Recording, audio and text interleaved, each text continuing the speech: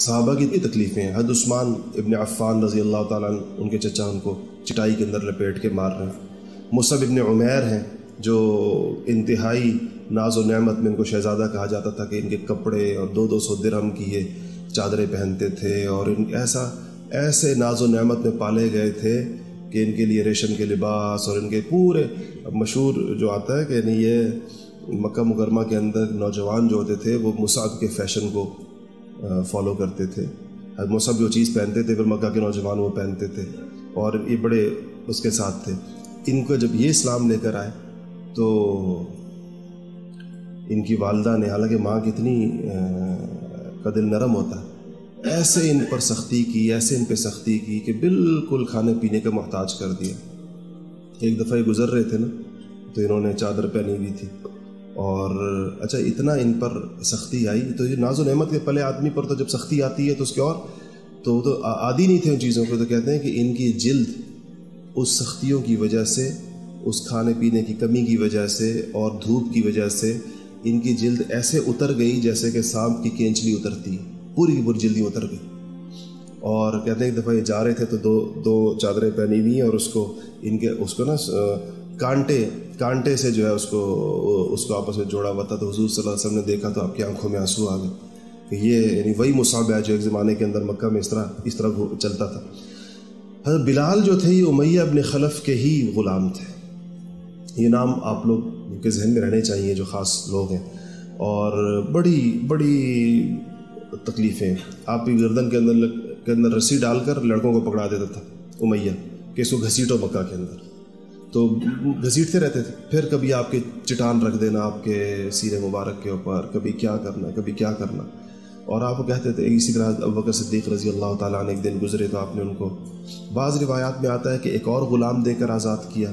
बाज़ रिवायात के अंदर ये आता है कि चांदी देकर आज़ाद किया। चांदी की मकदार भी आती है क्योंकि दो सौ अस्सी दरम के लगभग एक किलो से ज़्यादा चांदी बनती है। एक बात आपके जहन में रहे कि उस ज़माने में चांदी ऐसी बेतौकीर नहीं थी जैसी आजकल है। चांदी सोने के बहुत करीब थी। इसलिए आजकल बड़ा मसला बना हुआ है, अभी तो नया इश्तहादी मसला दरपेश है कि निसाब चांदी के साथ और सोने और चांदी का फ़र्क इतना बढ़ गया, ये किसी भी दौर में इतना नहीं रहा, ये फ़र्क। सोना चांदी करीब करीब हुआ करते थे, बहुत ज़्यादा फ़र्क, ये तो अब तो कोई इसका तनासब ही नहीं रहा आपस के अंदर। आजकल चांदी क्या भाव है? छः छः साठ हज़ार रुपये तोला और सोना पचास हज़ार रुपये तोला होगा।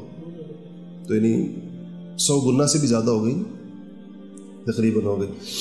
अच्छा इसी तरह हज़रत अम्मार इबन यासिर नाम आपने सुना होगा। और ये बनु मखजूम के ग़ुलाम थे। जब इन्होंने इन जब वो किया तो इस्लाम इन्होंने भी कबूल किया, इनके वालद यासिर ने भी कबूल किया, इनकी वालदा सुमैया ने भी कबूल किया। बड़ी सख्त पे इन पर भी क़्यामत टूटी इस घराने के ऊपर। इनको धूप में खड़ा कर देते थे। मक्का मुकरमा की धूप आप में से जिन्होंने देखी है वो जानते हैं, कैसी धूप है। और धूप में खड़े हैं गर्म चटानों पर बिठाया हुआ है, कभी कभी पत्थर इनके सीनों पर रखे हुए हैं। तो आप सल्लल्लाहु अलैहि वसल्लम गुजरते थे तो आपका मशहूर हदीस में जुमला आता है, क्या फरमाया? इस इसबिरू या आला यासिर, इसबिरू या आला, ए अल्लाह यासिर, सब्र करो पैन सब्र करो, इसलिए कि अल्लाह का जन्नत का वादा है। सब्र करो, अल्लाह ताला का जन्नत का वादा है। हज़रत यासिर अम्मार के वाले जो थे, वो इन्हीं तकलीफ़ों की वजह से फौत हुए और फिर आपकी वालदा सुमैया को अबू सुफियान ने बर्छी मारी उनकी। शर्मगाह में, जिस अबू जहल और जिसकी वजह से उनका भी उनका भी इंतकाल हुआ। और वो दम तोड़ गई इनको ये इस्लाम की पहली शहीदा है, हज़रत सुमैया रज़ी अल्लाह तला हज़रत अम्मार जब रह गए, उनको कहा करते थे कि बस एक ही मुतालबा होता था कि हुजूर को गाली दो और लात उज़्ज़ा की अजमत बयान करो। हुजूर को गाली दो, लात उज़्ज़ा की अजमत बयान करो। तो एक दफ़ा हज यासर को मजबूरन इतना इतना ज़्यादा सताया गया कि उनके मुँह से वो बात बिलाखिर जबरन निकलवाई गई। और आप उसे बहुत ज़्यादा अफसरदा हुए, रोते हुए हजूर वसल्लम के पास आए कि यार रसोल्ला आज तो इतनी तकलीफ़ इन्होंने मुझे दी कि उसकी वजह से मेरे मुँह से जो वो चाहते थे वो निकल गया। तो अल्लाह ताला ने आयत नाजिल की कि, मन कफ़र बिल्लाबाद ईमान ही इल्ला मन उक्र व कल्ब हो मुतमिन बिल ईमान। कि जिसका दिल ईमान पर मुतमिन है, मगर मजबूर कर दिया जाए वो कल मैं कुफर कहने के ऊपर तो उससे वो काफिर नहीं होगा। ना अल्लाह ताला इसी तरह एक और आपने शख्सियत का नाम सुना होगा, खब्बाब इबन अरत खब्बाब जो थे, ये बनो खुजा की एक औरत थी उम अनमार, उसके ग़ुलाम थे। वो भी कहते हैं कि इनके सर के बाल नोचे जाते थे, मरोड़े जाते थे। इनके बारे में है कि जिनको अंगारों के ऊपर इनको लिटाया गया था। और बाद में उनकी कमर को देखा करते थे साहबा के उसके ऊपर सारी उम्र, जब तक ये ज़िंदा रहे, इनकी कमर के ऊपर उन, उसके, ज़ाहिर बात है, अंगारे का निशान तो नहीं जाता फिर इस तरह। अंगारे दहका कर उस पर लिटाते थे, ऊपर से पत्थर भी रखते थे। तो कहते हैं वो कह, अम्मार कहते हैं कि अंगारे मेरे मेरी चर्बी की वजह से बुझते थे। मेरी चर्बी जो पिघलती थी उसकी वजह से अंगारे बुझते थे। लेकिन इन लोगों ने ईमान नहीं छोड़ा। और फिर अब साहबा को एक जगह चाहिए थी जहाँ पर वो बैठे। और वहाँ पर उनकी बात हो सके तो मक्का के अंदर तो यही फ़िज़ा और ये माहौल थी। जो दार अरकम था ये कोहे सफ़ा की जानब थोड़ा सा थोड़ा सा शहर से बाहर फिर वहाँ जाकर उस घर के अंदर इकट्ठे होते थे, हजूर तालीमत दिया करते थे, साहबा की तरबियत हो रही होती थी। और कभी कभी बाहर होता था।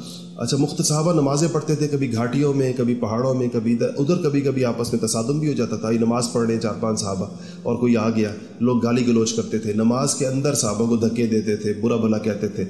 इसीलिए आता है कि एक दफ़ा इसी तरह की कई साहबा थे और बात हुई, बढ़ गई बात। उसके ऊपर से हज़रत साद नबी वक्स नमाज़ पढ़ रहे थे और भी लोग साथ थे। तो साद ने जवाबन भी हमला किया और जवाबी हमले के अंदर उस जिस मुशरक को आपने मारा तो उसका खून निकला। तो तारीख़ में लिखा है ये इस्लाम के लिए पहला खून था जो किसी यानी अभी तक तो सहाबा का ही बहता चला आ रहा था ना जो मुखालफी का जो पहला खून निकाला है पहली दफ़ा जिसके खून निकला है वो साद इबन अबी वक्स के आ, के हमले से मक्का के अंदर ही। और फिर ये वही साद है जिनको उहद के अंदर रसूलुल्लाह ने फरमाया, इर्मिया साद। और उनकी, यानी आगे चलकर तो अल्लाह जल्ल शाह अच्छा इसी के दरमियान चलता रहा। और इतनी मसला तंग, ज़मीन तंग हो गई कि हिजरत का तय हुआ कि हिजरत होगी। पहली हिजरत है ये हबशा की जानब। और इसके अंदर ये लोग अच्छा इन लोगों ने बड़ी, ये नबूत का पाँचवा साल का तकरीबन वस्त होगा। यानी इसका मतलब ये है कि तीन साल और दो, डेढ़, दो, ढाई साल ये चली है, ये जो दावत है इस तरीके के साथ। इस दौरान अगर आप देखें ये जो नबूत का पाँचवा साल अच्छा आप सीरत को अगर एक चीज़ के साथ आप रिलेट करें ना तो आपको बहुत ज़्यादा लुत्फ आएगा कि जिस दौरान ये वाक़ात हो रहे हैं, उस दौरान कुरान क्या नाजिल हो रहा है। तो अजीब एक आपको पता चलेगा कि सहाबा की दिलबस्तगी के लिए अल्लाह ताला ने कितना बड़ा सामान हजूर के दिल पर, जब हिजरत से पहले सुर कहफ नाजिल हुई। और सुर कहफ में आप देखें क्या है? वो निकल रहे हैं, चले गए हैं, गार में चले गए नौजवान और अपनी कौम से तंग आकर फिर निकले तो सारा मामला वो हो चुका था। यह चीज़ें शुरू के अंदर ऐसी नज़र आती हैं, नतीजा उसको और निकलता है। ज़रूरी नहीं कि जो नतीजा निकले, वो वो जो हालात नज़र आ रहे हैं और नतज उसी के ताबे आप सुर कहफ पढ़े। ये चीज़ें आपस में असल में सारी रिलेटेड हैं। आप हदीसें देखें, आप फिर सीरत देखें, फिर आप कुरान देखें, ये सब एक दूसरे के साथ, यानी एक दूसरे के साथ ऐसे बंदी भी हैं कि इसके बगैर आपको कोई मंजर आपके सामने क्लियर नहीं हो सकता जब तक आप उस सारे को ना देख रहे मूसा और खजर का वाक़ इसी तरह उसी उसी ज़माने के जुल्करनैन का वाक़ आप सुरखाफ़ में देखें और उसके इन हालात के साथ। खैर बहर हजूर वसम को पता चला कि असहमा नाम था उस ज़माने के नजाशी का। नजाशी हर हबशा के बादशाह को कहते थे, लकब ही इसको नजाशी होता था जैसे कि हर एक को कैसर कहते थे और हर एक को किसरा कहते थे, रूम और फारस के अंदर। ऐसे ही हबशा के हर बादशाह को क्या कहते थे? नजाशी लेकिन उसका नाम, जिस नजाशी के पास ये लोग गए हैं, उसका नाम था असहमा। और हजूर सल्लल्लाहु अलैहि वसल्लम को पता चला कि बड़ा ही वो है, आदिल बादशाह है। तो ये पाँचवीं नबूत के पाँचवें साल हिजरत हुई है, इसके अंदर बारह मर्द और चार औरतें। कितने हो गए टोटल सोलह। सईदा उस्मान इबन अफ़ान रज़ी अल्लाह तस इस हज़रत के अमीर हैं और हजूर अलैहि वसल्लम की साहबजादी हज़रत रुकैया भी साथ थी। ये दोनों गए थे। तो हजूर अलैहि वसल्लम ने फरमाया कि हज़रत इब्राहीम और लूत के बाद ये पहला घराना है, यानी फैमिली है। बाकी लोग अलग अलग थे। ये पहली फैमिली है जिसने अल्लाह के लिए हिजरत की है, उस्मान और रुकैया की जो, का जो, ये दोनों जो इसके अंदर गए रात को निकले और कुरैश को पता नहीं था।